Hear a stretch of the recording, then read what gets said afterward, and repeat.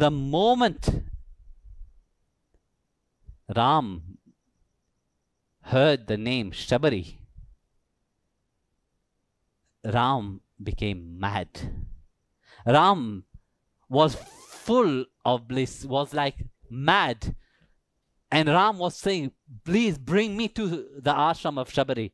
And I said, No, why would you go to the ashram of Shabari? He said, No, I have to have darshan of Shabari. Why? You are the Supreme Lord. Why you want to have darshan of, of, of, of that witch? Why you want? What is so great about this witch? What is so great about Shabari? But you want to have darshan of such such person? Said, No, please bring me. You know, I have come all this for her. All this, what you are seeing, it is because of her. It is her blessing, her grace. Imagine her Guru Bhakti, how wonderful it was. You know, for Bhagwan himself will come. The same as Pundalik when her his worship to his mother and father. Old Vittal himself came to, to, to, to have his darshan.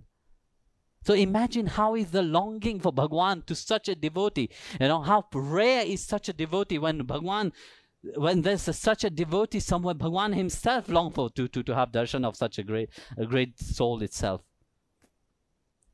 You see, this is the mercy uh, of, of Bhagwan. You know, this is the mercy of the Lord. When we look at how merciful is God, it's not a God which is sitting there in a throne and saying, "Worship me, throw your worship. I'm ready to be worshipped." No, He is that merciful Lord who have come to the people.